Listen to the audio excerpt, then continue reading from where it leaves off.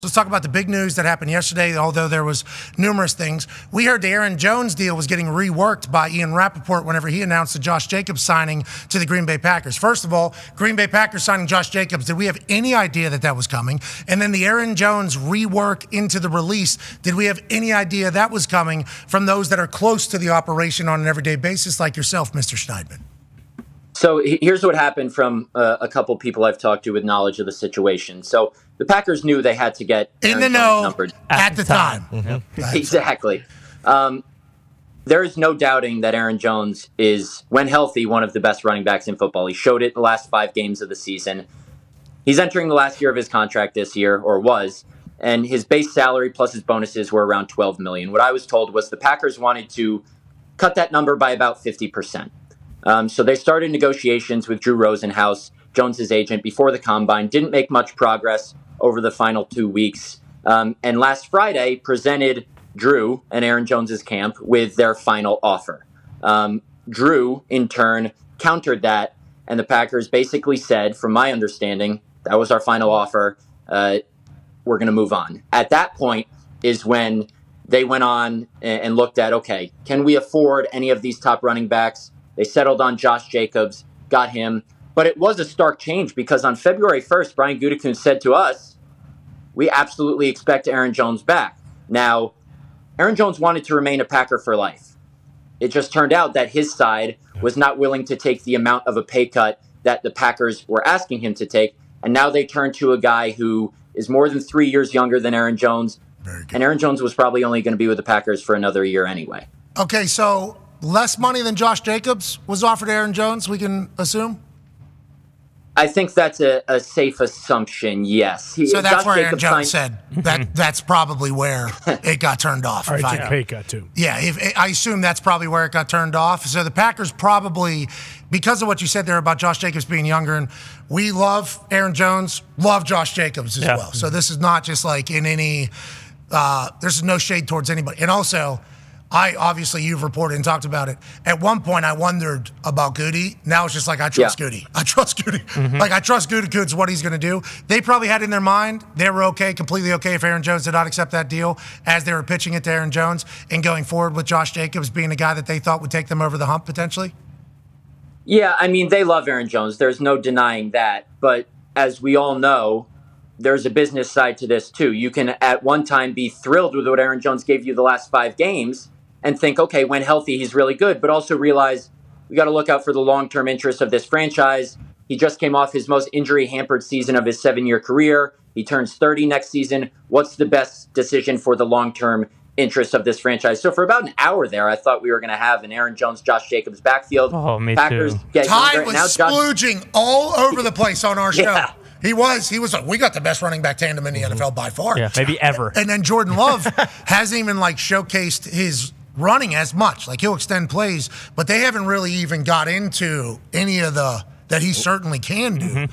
So if you got Aaron Jones and you have Josh Jacobs and you explore a little bit more with Jordan Love running, Plus, with the young weapons, it's like, oh, wait a minute. Look out. Ty had Lombardi aspirations. not that he doesn't Still anymore. Do. Yeah, not that he does anymore, but that was a good time there for a little bit. Seemed weird if that was going to be the case. For sure. But obviously, it all got sorted. Excited to see where Aaron. Jo- oh, he's in the Vikings. Yeah. Oh, you guys will see him oh, play. He's too old, Schneidman said with his sleeve. Back to Tone Diggs. Tone, what did you want to know exactly? Xavier McKinney. Yeah. Xavier McKinney. Yeah, I, I think I wouldn't call it a misconception but there is kind of this notion that the Packers aren't big spenders in free agency. The past couple of years, they haven't really been able to since they put all their their pennies into the middle for the last couple of years of the Aaron Rodgers era. This is a massive signing. The Packers' top three safeties from last season were all unrestricted free agents. Uh, Darnell Savage, Jonathan Owens, who is uh, Simone Biles' husband, mm-hmm. and then Rudy Ford. So the Packers go and land the top safety on the market. This guy played every single snap last year, has a knack for the ball, Jeff Hafley, their new defensive coordinator, is a proponent of you know playing one high safety looks. To do that, you need a playmaking center fielder in the deep middle of that defense, and Xavier McKinney can do that better Ty, you can attest to this, than anyone since what? Micah Hyde, Nick Collins. When's Yeah. the last Oh, guy Nick they? Collins. When's the last time they had a guy like this? Ha ha clink. Yeah, so I mean, huge deal, huge signing, great activity out of the Packers. Before the last couple of years, where the Packers haven't been able to spend, have they notoriously spent, or have- Not really. I mean, they've they got you know Charles Woodson and like Julius Peppers, so they've landed like a couple marquee guys. But no, they don't. They don't typically do this. But speaking of that, like there are still a couple holes out there. Obviously, Devondre Campbell gets released, Matt, um, and then I think a lot of Packers fans, you know, look at Patrick Queen and some of those other guys that are available out there. Do you think the Packers are done? Are they going to make any more moves, or are they kind of looking ahead at the draft where they have you know a decent amount of picks this year? And obviously, Gutekunst's track record with the draft the last couple years has been spectacular.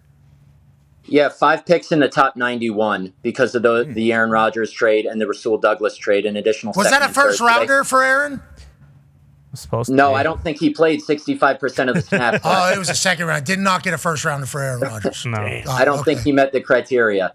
Um, but Brian Gutekunst did say Don't need a it. Got couple Jordan weeks Love. ago. Jordan Love's a guy. Jordan Love's a guy. Yeah, yeah, it's good, good, good, good. uh, Gutekunst said a couple weeks ago, who knows, he might trade draft picks for a veteran player. L'Jarius Sneed is out there. The Packers might need another cornerback. So um, I think they might be done with the big signings in free agency. I could be wrong.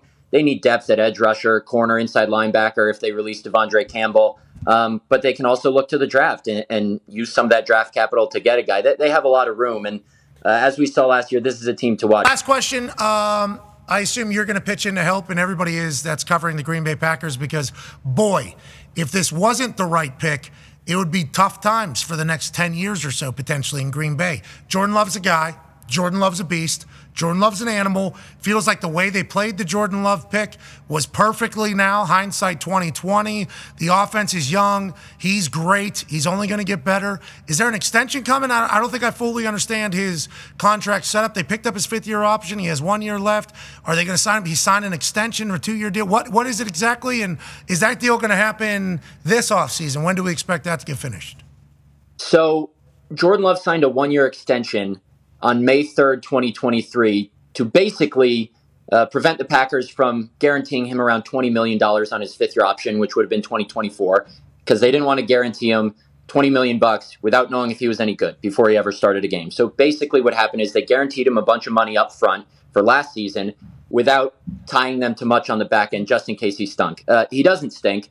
So the CBA says you can't sign another contract extension until 12 months after your last one. So he signed his last one on May 3rd. The earliest he can sign his new one, which he's going to sign for a crap ton of money, Hell yeah. is May 3rd. So nothing's going to happen for the next, you know, 7 weeks, but he's going to get a big payday. David Mulugeta, who is his agent, is going to make sure he gets every last dollar. Um, I don't know if it's going to start with a 50 million, a mid to high 40 million, but it's going to be a lot of freaking money. It's